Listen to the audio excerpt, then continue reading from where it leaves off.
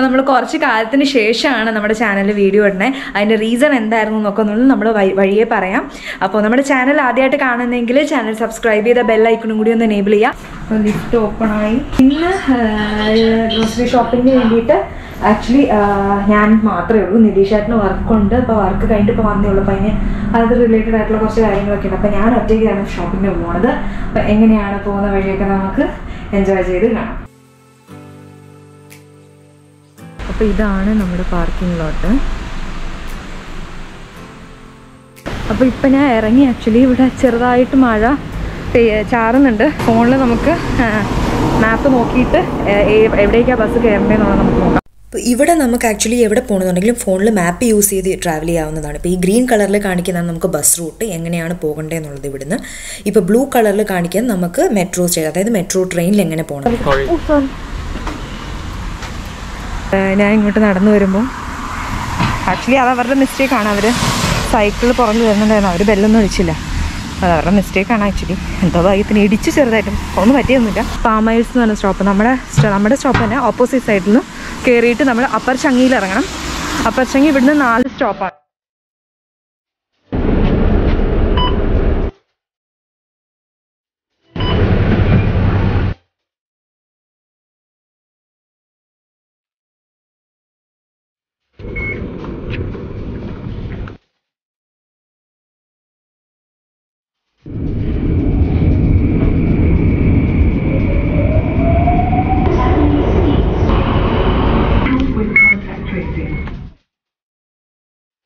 ഇന്നിപ്പം ഞാൻ വന്നേക്കുന്ന ദിവസം ഒരു വീക്ക് ഡേ ആണ്. അപ്പോൾ വീക്ക് ഡേ ആയതുകൊണ്ട് വലിയ തിരക്ക് ഉണ്ടാവില്ല എന്ന് പ്രതീക്ഷിക്കാം. ലിറ്റിൽ ഇന്ത്യ എന്ന് പറയുമ്പോൾ ലിറ്ററലി ഒരു കുട്ടി ഇന്ത്യ കാണുന്ന ഒരു ഫീൽ തന്നെയായിരിക്കും നമുക്ക്. ഇപ്പോൾ കണ്ടില്ലേ ഷോപ്സ് ഒക്കെ ഓൾമോസ്റ്റ് ഇന്ത്യ പോലെ തന്നെയായിരിക്കും. ഒരു കുട്ടി തമിഴ്നാട് ഫീൽ ആയിരിക്കും. പച്ചക്കറി കടയുണ്ട്. പിന്നെ ഇവിടുത്തെ മെയിൻ ഒരു ഹൈലൈറ്റ് എന്ന് പറയുന്നത് മുസ്തഫ സെന്റർ ആണ്. ഭയങ്കര റീസണബിൾ ആയിട്ട് നമുക്ക് തിങ്സ് പർച്ചേസ് ചെയ്യാവുന്ന ഒരു സെന്റർ ഒരു സൂപ്പർ മാർക്കറ്റ് ആണ്. ഇപ്പോൾ നമ്മൾ മുസ്തഫയിലെത്തി. ചെക്ക് ഇൻ ചെയ്യണം. നമുക്ക് ചെക്ക് ഇൻ ചെയ്തിട്ട് വേണം അകത്തേക്ക് കയറാൻ വേണ്ടി.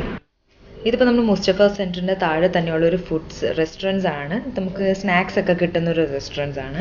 മലബാർ ഗോൾഡൻ ഡയമണ്ട്സ് ഉണ്ട്. അതുപോലെ എവിടെ കയറുമ്പോൾ ഇപ്പോൾ ഞാൻ പറഞ്ഞിട്ടുള്ളത് ചെക്ക് ഇൻ ചെയ്തിട്ട് വേണം നമ്മൾ കയറാൻ വേണ്ടിയിട്ട്. അപ്പോൾ നമുക്ക് കയറുമ്പോൾ ഉള്ള ഒരു എൻട്രൻസ് വ്യൂ ആണിത്.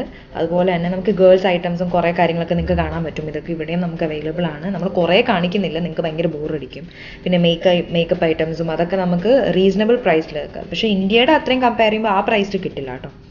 നമ്മൾ ട്രോളി എടുത്തു. അപ്പോൾ ഫ്രൂട്ട് സെക്ഷനിൽ തന്നെ നമുക്ക് കുറേ ഫ്രൂട്ട്സ് നോക്കുമ്പോൾ ഓറഞ്ച് തന്നെ നമുക്ക് കുറേ വെറൈറ്റി കാണാൻ പറ്റും. ഇതൊക്കെ അച്ചാറിന്റെ സെക്ഷനാണ് കേട്ടോ വെറൈറ്റി ഓഫ് അച്ചാറൊക്കെ ഇവിടെ നമുക്ക് അവൈലബിൾ ആണ്. പിന്നെ ഇതൊക്കെ മസാല മറ്റേ ബിരിയാണിയിലിടുന്ന കാര്യങ്ങളും നെയ്യും അങ്ങനത്തെ കാര്യങ്ങളൊക്കെയാണ് ഈ ഒരു സെക്ഷനിലുള്ളത് ഇപ്പോൾ ഇത് ഓലിവ് ടൈപ്സ് ഓഫ് ഓലിവ്സ് നമുക്ക് ഇവിടെ അവൈലബിൾ ആണ്. ഓയിൽ കൈൻഡ് ഓഫ് ഓയിൽസ് ഭക്ഷണം ഉണ്ടാക്കാനുള്ള വെറൈറ്റി ഓഫ് ഓയിൽസ് ഒക്കെ ഇവിടെ കിട്ടും. ഇത് കോക്കനട്ട് ഓയിൽ നമ്മൾ വാങ്ങുന്നതാണ്.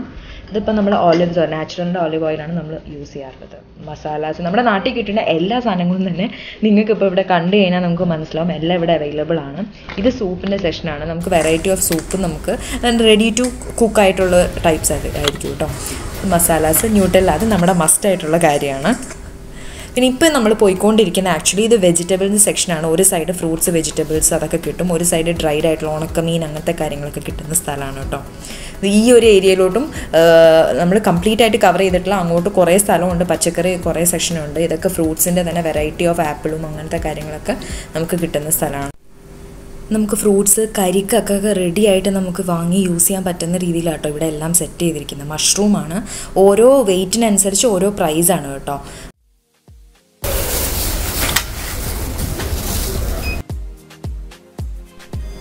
ഇതിപ്പോൾ നമ്മൾ കാണുന്ന ഒരു മീറ്റിന്റെ സെക്ഷനാണ് നോൺ വെജ് സെക്ഷനാണ്. നമുക്ക് ഇപ്പോൾ ബീഫ് പോർക്ക് എല്ലാം തന്നെ ഇതിന്റെ ഉള്ളിൽ നമുക്ക് കിട്ടും. വെയിറ്റിനനുസരിച്ചുള്ള ചാർജസ് അതിൽ തന്നെ അവർ എഴുതി വെച്ചിട്ടുണ്ട്. അതിപ്പോൾ ചിക്കന്റെ കാൽ അല്ലെങ്കിൽ ബ്രസ്റ്റ് അല്ലെങ്കിൽ ലെഗ് പീസ് അങ്ങനെ എല്ലാം നമുക്ക് സെപ്പറേറ്റ് ചെയ്ത് വെച്ചിട്ടുണ്ട്. അപ്പോൾ ഏതാ വേണ്ടതെന്ന് വെച്ച് കഴിഞ്ഞാൽ പറഞ്ഞു കഴിഞ്ഞാൽ കിട്ടും.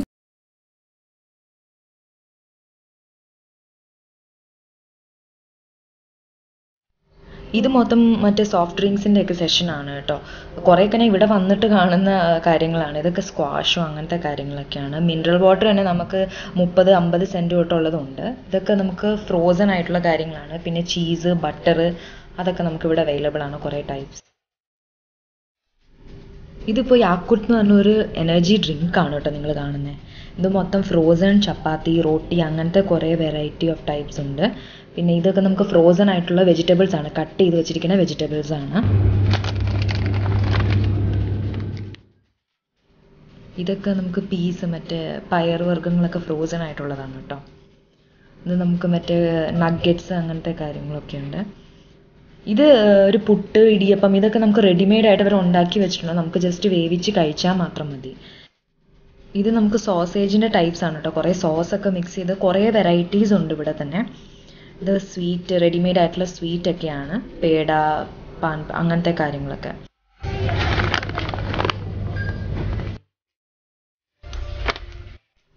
നിങ്ങൾ നാട്ടിൽ നിന്ന് വരുമ്പോൾ ഇങ്ങനത്തെ ഭക്ഷണ സാധനങ്ങൾ മാക്സിമം കൊണ്ടുവരാതിരിക്കാൻ നോക്കുക. അതൊക്കെ നമുക്ക് ഇവിടെ തന്നെ അവൈലബിൾ ആണ് കേട്ടോ. അതൊക്കെ അരിയുടെ വെറൈറ്റി ടൈപ്പ് ഓഫ് റൈസസ് ആണ് പിന്നെ ഇത് കായ ചിപ്സ് ഇത് അപ്പളമാണ് കൂടുതലും ഇവിടെ ഉണ്ടാവുക. ഇത് തമിഴ് ഷോപ്പ് ആയതുകൊണ്ടായിരിക്കും. നൂഡിൽസിന്റെ സെഷനുണ്ട് പിന്നെ അതുപോലെ തന്നെ ഇതൊക്കെ കേർട്ടൻസിന്റെ ഏരിയ ആണ് കേട്ടോ. കുറേ ഉണ്ട്. ഞാൻ കുറേ ഒന്നും എടുത്ത് നിങ്ങളെ മടുപ്പിച്ചില്ല. ഇത് ഓഫർ എന്തോ ഉണ്ടായിരുന്നു സൈക്കിളിന്. ഞാൻ ജസ്റ്റ് നിങ്ങളെ കാണിക്കാൻ വേണ്ടി എടുത്തു എന്നേ ഉള്ളൂ. അപ്പം അങ്ങനെ നമ്മൾ ഷോപ്പിംഗ് ഒക്കെ കഴിഞ്ഞ് ടാക്സിക്ക് വേണ്ടി വെയിറ്റ് ചെയ്ത് നിൽക്കുകയാണ് കേട്ടോ. ഇതിപ്പോൾ നമ്മൾ ഈ ബസ് ഓടിക്കുന്ന ഒരു പ്രായ ഒരു ലേഡിയാണ് ഒരു അറുപത് വയസ്സിന് മുകളിൽ ഉണ്ടാവും അമ്പതോ അമ്പത്തഞ്ച് വയസ്സ്. ഇത് ആക്ച്വലി ഒരു സിംഗപ്പൂർ പ്രിസൺ ആണ്. നമ്മുടെ വീടിന്റെ അടുത്ത് തന്നെയുള്ള ഒരു റിഹാബിറ്റേഷൻ സെന്ററും കൂടിയാണ് കേട്ടോ ഇപ്പോൾ ഒരു പ്രിസൺ ഇത് പാസേജസ് ബസ് സ്റ്റേഷൻ ആണ്. ഇന്റർചേഞ്ച് എന്ന് ഇവിടെ പറയൂ കേട്ടോ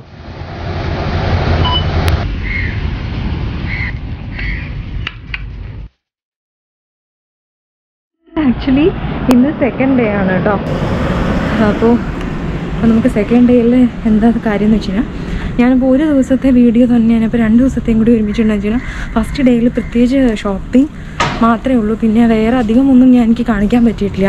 അപ്പോൾ അതുകൊണ്ട് ഞാൻ വിചാരിച്ചു എന്നാൽ പിന്നെ രണ്ട് ദിവസത്തെ വീഡിയോ ഒരുമിച്ചാക്കി ഇടാമല്ലോ എന്ന് വിചാരിച്ചു. അപ്പോൾ അങ്ങനെ നമ്മൾ ഒരു ക്ലിനിക്കിലാണ് വന്നിരിക്കുന്നത്. പാസറിസിലുള്ള ഒരു ഫാമിലി ക്ലിനിക്കാണ് ഈ ക്ലിനിക്ക് ആക്ച്വലി ഞാൻ റെഗുലറായിട്ട് വിസിറ്റ് ചെയ്യുന്നത്. എനിക്ക് തൈറോയിഡ് ഉണ്ട്. സോ അതിന്റെ ട്രീറ്റ്മെന്റ് ഒക്കെ ആയിട്ട് വരുന്നതാണ്. ഇപ്രാവശ്യം വന്നിരിക്കുന്ന മറ്റൊരു റീസൺ ആണ് കേട്ടോ. അപ്പോൾ അങ്ങനെ ഡോക്ടറിനെ കണ്ടു. നമ്മൾ ക്ലിനിക്കിൽ നിന്ന് ഇറങ്ങി. ഇവിടെ ഞാൻ ആ ക്ലിനിക്കിന്റെ അടുത്ത് തന്നെ ഒരു സ്ഥലത്ത് വന്നിരിക്കുക. ഡോക്ടറിനെ കണ്ടു. അപ്പോൾ ഡോക്ടറിനെ കണ്ടു കഴിഞ്ഞപ്പോൾ ആൾ പറഞ്ഞതെന്ന് വെച്ച് കഴിഞ്ഞാൽ എനിക്കൊരു ഒരു ത്രീ മന്ത്സ് മുമ്പ് ഒരു ഇയർ ഇൻഫെക്ഷൻ വന്നായിരുന്നു ലെഫ്റ്റ് സൈഡിൽ അപ്പോൾ അതിങ്ങനെ വന്നിട്ട് പക്ഷേ ഇങ്ങനെ ഡോക്ടറിനെ കണ്ടു. ഇവിടെ വന്ന് തന്നെ കണ്ട് ഡ്രോപ്സ് ഒഴിച്ച് ഒരു ടു ത്രീ ഡേയ്സ് കഴിഞ്ഞപ്പോൾ അത് മാറിയായിരുന്നു. ഇപ്രാവശ്യം ഇങ്ങനെ വന്നു. അപ്പോൾ ഞങ്ങൾ ആക്ച്വലി ഞങ്ങൾ ഫ്രണ്ട്സ് എല്ലാവരും കൂടെ ആയിട്ട് ബീച്ചിൽ പോയായിരുന്നു. ഈ ഇയർ ഇൻഫെക്ഷൻ എനിക്ക് സ്റ്റാർട്ട് ആവണേന് ഒരു ടു ഡേയ്സ് മുമ്പ് ബീച്ചിൽ പോയിട്ടുണ്ടായിരുന്നു. അതിന് മുമ്പത്തെ ദിവസം നമ്മൾ ഒരു ഈവനിങ് ഒരു നൈറ്റ് നമ്മളൊരു ഫുഡ് സെന്ററിൽ പോയിട്ടുണ്ടായിരുന്നു നല്ല ഓപ്പൺ ആയിട്ടിരുന്ന് ഭക്ഷണം കഴിക്കുന്ന ഒരു സ്ഥലമായിരുന്നു. ചെറുതായിട്ട് മഴയും പെയ്ത് കിടക്കുമായിരുന്നു അപ്പോൾ ചിലപ്പോൾ തണുപ്പിന്റെ ഒക്കെ ആയിരിക്കും എന്ന് വിചാരിച്ചു. പിറ്റേ ദിവസം ബീച്ചിൽ പോയപ്പോൾ ചിലപ്പോൾ അതിന്റെ കാറ്റൊക്കെ അടിച്ചിട്ടായിരിക്കും ഇൻഫെക്ഷൻ വന്നേന്ന് വിചാരിച്ചു. ഡോക്ടർ പറഞ്ഞു വെച്ചാൽ ചില ചിലവർക്ക് ഇങ്ങനെ ഇടയ്ക്ക് ഇയർ ഇൻഫെക്ഷൻ വരും ചില ഭയങ്കര സെൻസിറ്റീവ് ആയിരിക്കും എന്ന് പറഞ്ഞു വൺ വീക്ക് മുമ്പ് ഡോക്ടറിനെ കണ്ടിട്ട് ഡോക്ടർ പറഞ്ഞു വെച്ചാൽ ചിലപ്പോൾ ഞാൻ എനിക്ക് ഇങ്ങനെ ഇടയ്ക്ക് ഇങ്ങനെ ഇച്ചിങ് വരാറുണ്ട്. ചോർച്ചിൽ വരുമ്പോൾ ഞാൻ എന്തെങ്കിലും ഈ നഖം കൊണ്ട് ഞാൻ ഇങ്ങനെ നമ്മളെല്ലാവരും നോർമലി ചെയ്യുന്ന പോലെ ഞാൻ ജസ്റ്റ് ആയിട്ട് ഇങ്ങനെ അങ്ങനെ കുടയോ അല്ലെങ്കിൽ ചിലപ്പോൾ ഇങ്ങനെ ഇങ്ങനെ സ്ക്രാച്ച് ചെയ്യാറുണ്ട്. അപ്പോൾ പുള്ളി പറഞ്ഞു ചിലപ്പോൾ അതായിരിക്കും. കഴിഞ്ഞ പ്രാവശ്യം എന്നോട് അത് പറഞ്ഞു. ഇങ്ങനെ ചൊറിഞ്ഞ് എങ്ങനെ നഖം എന്തെങ്കിലും ഇട്ട് ചൊറിഞ്ഞായിരുന്നു എന്ന് ചോദിച്ചിട്ടില്ല. പിന്നെ പറഞ്ഞു ആ ഞാൻ ചെയ്യായിരുന്നു. അപ്പോൾ അതിന്റെ ആണെന്ന് പറഞ്ഞു എന്നോട്. ചിലവർക്ക് അത് ഭയങ്കര സെൻസിറ്റീവ് ആയിരിക്കും. അപ്പോൾ ഞാൻ എന്നോട് അത് ചെയ്യരുതെന്ന് പറഞ്ഞു. ഇപ്രാവശ്യം ഞാൻ ചെന്നപ്പോഴും എന്നോട് പറഞ്ഞ് ചോദിച്ചു ഇങ്ങനെ ചെയ്തത് അപ്പോൾ അതിന്റെയാണ് ഇയർ ഇൻഫെക്ഷൻ അപ്പോൾ ഡ്രോപ്സ് ഇത് ഇപ്രാവശ്യം ആക്ച്വലി നല്ല സിവിയർ ആയായിരുന്നു. കഴിഞ്ഞ മാസം ആക്ച്വലി ഇങ്ങനെ ആയപ്പോൾ എന്താ സംഭവിച്ചതെന്ന് വെച്ചാൽ കഴിഞ്ഞ പ്രാവശ്യം ഇങ്ങനെ എനിക്ക് ഇവിടെ തൊടാൻ പോലും പറ്റുന്നുണ്ടായിരുന്നു അതുപോലെയായിരുന്നു സിറ്റുവേഷൻ ഇപ്രാവശ്യം എനിക്ക് ഉള്ളിലിങ്ങനെ നമ്മളെന്തോ ഈ ഞരമ്പിലോട്ടൊക്കെ ഭയങ്കര വേദന ഇങ്ങനെ വലിഞ്ഞു മുറുകണ പോലെ എനിക്ക് വർത്തമാനം പറയാൻ എനിക്ക് അനങ്ങാൻ പോലും പറ്റുന്നുണ്ടായിരുന്നില്ല. എനിക്ക് അതായിരുന്നു ആക്ച്വലി കഴിഞ്ഞ രണ്ടാഴ്ചയായിട്ട് ഞാൻ അതിന്റെ പുറകിലായിരുന്നു. എനിക്ക് ഒട്ടും എനിക്ക് ഞാൻ ഒട്ടും ഓക്കെ അല്ലായിരുന്നു. ഭയങ്കര വേദന എന്ന് വെച്ചാൽ ഭയങ്കര വേദനയായിരുന്നു. അത് കഴിഞ്ഞപ്പോൾ എനിക്ക് മരുന്ന് ഒഴിച്ചു കഴിഞ്ഞപ്പോഴേക്കും ഇങ്ങനെ ചൊറിച്ചിലും ഭയങ്കര ചോദിച്ചില്ല. മരുന്ന് വിഷയം എനിക്ക് എനിക്ക് എങ്ങനെയെങ്കിലും മരുന്ന് വലിച്ച് പുറത്ത് കളഞ്ഞാൽ മതി എന്നുള്ളൊരു സിറ്റുവേഷനായി മരുന്ന് ഒഴിക്കാൻ തുടങ്ങിയതിന് ശേഷം അതിന് മുമ്പ് വരെ എനിക്ക് ചെവി കേൾക്കുന്നുണ്ടായിരുന്നു വേദനയായിരുന്നു. മരുന്ന് ഒഴിച്ച് കഴിഞ്ഞപ്പോൾ ചോർച്ചിലും കാതടഞ്ഞു ഭയങ്കരമായിട്ട് ക്ലോഗ്ഡായി കാത്. പിന്നെന്താ പറയുക നമുക്കൊരു മിന്നൽ പോലെ ഇങ്ങനെ വേദന വരില്ല. ഇങ്ങനെ വിങ്ങി വിങ്ങി ത്രോബിംഗ് എന്നൊക്കെ പറയും. ത്രോബിംഗ് പെയിൻ ആണ്. ആ ഒരു ഫീലായിരുന്നു എനിക്ക് ഉണ്ടായിരുന്നത്. കംപ്ലീറ്റ്ലി ഒരു എനിക്ക് തോന്നുന്നു ഒരു എട്ട് ദിവസം ഇങ്ങനെ തന്നെ പോയി. വേദനയും കാതടപ്പും. ഭയങ്കര കാതടഞ്ഞിരിക്കുകയായിരുന്നു. എനിക്ക് ഈ സൈഡ് ഒന്നും ഒന്നും കേൾക്കണില്ല. നിതീഷേട്ടൻ എന്തെങ്കിലും പറയുന്നുണ്ട് എന്നുണ്ടെങ്കിൽ എനിക്ക് ഞാൻ നിതീഷേട്ടനോട് ഏ? ഏ? നോക്കിയോ നിതീഷ് ചേട്ടൻ എന്നെ ആകെ ദേഷ്യം വന്നു തുടങ്ങി. ഇതെന്താ ഇങ്ങനെ ഞാൻ എന്തോ കളിക്കുവാന്നാ നിതീഷേട്ടൻ വിചാരിച്ചത് നീ എന്താ ചോദിച്ചു ഇങ്ങനെ ചെയ്യണേ? നിനക്ക് ഞാൻ പറയണ കേൾക്കണില്ലേ? എനിക്ക് ദേഷ്യം വരുന്നുണ്ട്. ഇങ്ങനെയൊക്കെ പറയാൻ തുടങ്ങിയ ആൾ. ഞാൻ പക്ഷെ എന്റെ അവസ്ഥ അതായതുകൊണ്ട് ആൾക്ക് തന്നെ ഒരുമാതിരി ഇറിറ്റേറ്റഡ് ആവാൻ തുടങ്ങി. പിന്നെ അപ്പോൾ എന്റെ സിറ്റുവേഷൻ ഇതാ. എനിക്ക് സത്യം പറഞ്ഞാൽ ഈ ഒരു സൈഡ് എനിക്ക് കേൾക്കുന്നില്ല. പിന്നെ എനിക്ക് നല്ല ടെൻഷൻ ആവാൻ തുടങ്ങി. എന്റെ ചെവി പോയോ ഇനി? സിവിയർ ഇൻഫെക്ഷൻ ആണ് പുള്ളി പറഞ്ഞു. ഇൻഫെക്ഷൻ കുറച്ച് ഉള്ളിലോട്ട് നന്നായിട്ട് ആയിട്ടുണ്ടെന്ന് പറഞ്ഞു.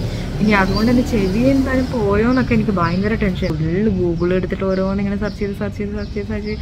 എന്തൊക്കെയോ വലിയ അസുഖങ്ങൾ വരെ ഞാൻ എത്തി ആക്ച്വലി എനിക്കപ്പോൾ എന്റെ മൈൻഡ് മൊത്തം അതായിരുന്നു. ഡോക്ടറിനെ കണ്ടപ്പോൾ തൈറോയിഡ് നോർമലാണ് അപ്പോൾ ഡോക്ടർ പറഞ്ഞു ഇൻഫെക്ഷൻ ഇപ്പോൾ കുറഞ്ഞിട്ടുണ്ട്. പക്ഷേ നമുക്കപ്പോൾ ഇയർ വാക്സ് നിറഞ്ഞിട്ടുണ്ടെന്ന് പറഞ്ഞു. ഇയർ വാക്സ് അപ്പോൾ ഞാൻ പറഞ്ഞു എന്റെ കാത് അടഞ്ഞിരിക്കുക. ക്ലോഗ്ഡ് ആണ് എന്റെ കാത്. എനിക്കിപ്പോൾ കുറവുണ്ട്.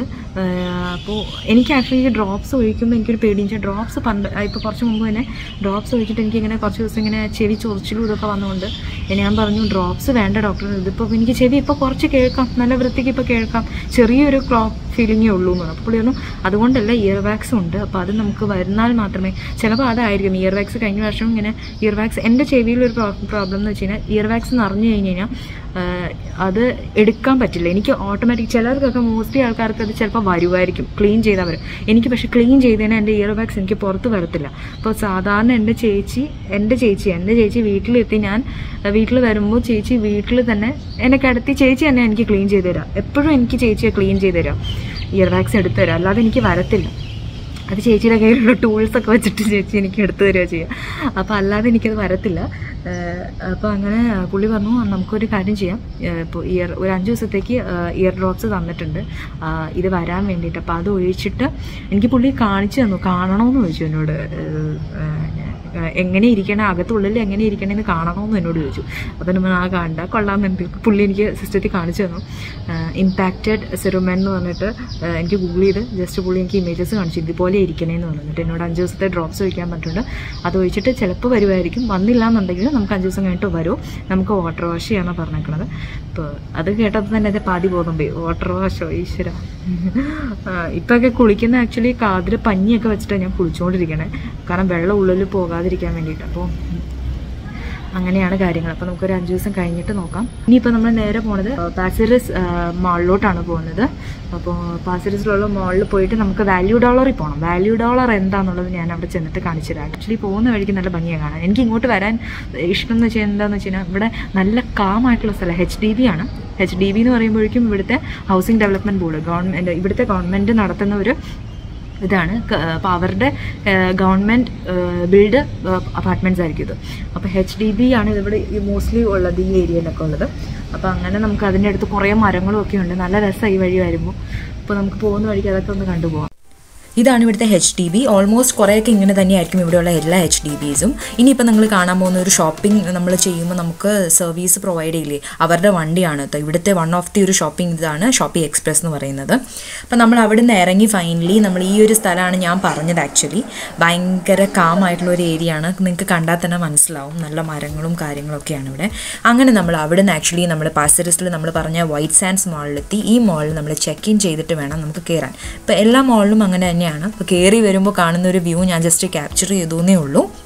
അപ്പോൾ ഇവിടെ തന്നെ സിംഗപ്പൂർ പോസ്റ്റ് ഉണ്ട്. നിങ്ങൾക്ക് വേണമെങ്കിൽ ഇവിടെ വിസിറ്റ് ചെയ്യാം. ജാപ്പൻ ഹോം എന്ന് പറയുന്നത് ഒരു ജാപ്പനീസ് ഒരു ഔട്ട്ലെറ്റ് ആണ്. ജാപ്പനീസ് പ്രോഡക്റ്റ്സ് ഒക്കെ നമുക്ക് കിട്ടും. നമ്മൾ കോയിൻ ഒക്കെ ഇട്ട് കളിക്കുന്ന ഗെയിംസ് കണ്ടിട്ടില്ല? അങ്ങനത്തെ ഒരു ഗെയിമാണ് കേട്ടോ ഇത്. അപ്പോൾ ഇതിന്റെ അടുത്ത് തന്നെയാണ് വാല്യൂ ഡോളർ ഉള്ളത്. വാല്യൂ ഡോളർ എന്താണെന്ന് നമുക്കൊന്ന് കാണാം വാല്യൂ ഡോളറിനെ കുറിച്ച് പറയാനാണെങ്കിൽ ഭയങ്കര ചീപ്പ് ആൻഡ് ബെസ്റ്റ് ആയിട്ടുള്ളൊരു ഷോപ്പാണ് സ്നാക്സ് അതുപോലെ കുക്കീസ് ക്യാൻഡീസ് പിന്നെ അതുപോലെ നമ്മുടെ സ്റ്റേഷനറി നമുക്ക് ഡിറ്റർജൻസ് അങ്ങനത്തെ നമുക്ക് ആവശ്യമുള്ള ഓൾമോസ്റ്റ് എല്ലാ സാധനങ്ങളും തന്നെ ഇവിടെ ഭയങ്കര ചീപ്പ് റേറ്റിൽ നമുക്ക് കിട്ടും. അപ്പോൾ ഇതൊക്കെ നമ്മൾ മറ്റേ കുടുക്കയൊക്കെ അതൊക്കെ നമുക്ക് ഒരു ഡോളർ തൊണ്ണൂറ്റഞ്ച് സെന്റ് അതായത് ഏകദേശം രണ്ട് ഡോളർ എന്ന് പറയുമ്പോൾ നമുക്കൊരു നൂറ് ഡോളറിനടുത്തൊക്കെ വരും. ഇതൊക്കെ പൗഡർ ഷാംപൂ അങ്ങനത്തെ കുറേ കാര്യങ്ങളാണ്. പിന്നെ ഇതുപോലത്തെ കുറേ ഫുഡ് ഐറ്റംസും നമുക്കിവിടെ അവൈലബിൾ ആണ് കേട്ടോ. പക്ഷേ അത് നമുക്ക് ബ്രാൻഡഡ് ഒന്നും ആയിരിക്കില്ല. ഇതൊക്കെ മാസ്കിന്റെ സെക്ഷനാണ് അങ്ങനെ നമ്മൾ രണ്ട് മാസ്ക് വാങ്ങി. നമ്മൾ ബില്ലിങ്ങിന്റെ സെക്ഷനിൽ നമ്മൾ വീഡിയോ എടുക്കാൻ പാടില്ല എന്ന് പറഞ്ഞു. അപ്പോൾ അതുകൊണ്ട് കട്ട് ചെയ്താണ്. പിന്നെ ഇത് ഇവിടെയുള്ള പി ഒ എസ് ബി ബാങ്കിന്റെ ഔട്ട്ലെറ്റ് ആണ്. ബാറ്റയുടെ ഷോറൂംസ് ഇവിടെ പലയിടങ്ങളും നിങ്ങൾക്ക് കാണാൻ പറ്റും. അപ്പോൾ ഞാൻ വരുന്ന വഴിക്ക് ജസ്റ്റ് കണ്ടപ്പോൾ ഈ കേക്കിന്റെ ഇത് കണ്ടപ്പോൾ ജസ്റ്റ് എടുത്തു തോന്നി ഇത് സൂഷി എക്സ്പ്രസ് എന്ന് പറഞ്ഞ ഒരു സൂഷി റെസ്റ്റോറന്റ് ആണ്. നിങ്ങൾക്ക് ഇഷ്ടമുണ്ടെങ്കിൽ വിസിറ്റ് ചെയ്യാം കേട്ടോ പാസറിസ് വൈറ്റ് സാൻഡ്സ് മോളിലാണ് ഉള്ളത് ഇത് കോട്ടൺ എന്ന് പറഞ്ഞ ഒരു റീസണബിൾ പ്രൈസിൽ ഡ്രസ്സ് കിട്ടുന്ന ഒരു ഷോപ്പാണ് ഇത് ജസ്റ്റ് പുറത്തു നിന്ന് കണ്ടപ്പോൾ ഞാൻ എടുത്തുന്നേ ഉള്ളൂ. ഇവിടുന്ന് ഞാനൊരു രണ്ട് ഷർട്ട് വാങ്ങിയായിരുന്നു. ജസ്റ്റ് കണ്ടപ്പോൾ ജസ്റ്റ് എനിക്ക് ഒന്ന് നോക്കാമെന്ന് വിചാരിച്ചു. അങ്ങനെ രണ്ട് ഷർട്ട് വാങ്ങിച്ചു. അത് ഏതൊക്കെയാണെന്നുള്ളത് നെക്സ്റ്റ് വീഡിയോയിൽ കാണിച്ചു തരാം അത് ഞാൻ നെക്സ്റ്റ് വീഡിയോയിൽ ഇടുന്നുണ്ട് അങ്ങനെ നമ്മൾ രണ്ട് ഷർട്ട് വാങ്ങി ഇരുപത്തഞ്ച് ഡോളർ എങ്ങാണ്ടായി. അപ്പോൾ നമ്മൾ അത് കൊടുത്തിട്ട് പിന്നെ പുറത്തിറങ്ങുമ്പോൾ നമുക്ക് ബസ് സ്റ്റോപ്പിൽ ഒരു ഓറഞ്ച് വെൻഡിങ് മെഷീൻ ഉണ്ട്. ഓറഞ്ച് ജ്യൂസ് വെൻഡ് ചെയ്യുന്ന മെഷീൻ ഉണ്ട്. നമുക്ക് പോകേണ്ട ബസ് നമ്പർ ഫൈവ് ആണ്. സോ നമുക്ക് അങ്ങോട്ട് പോവാം.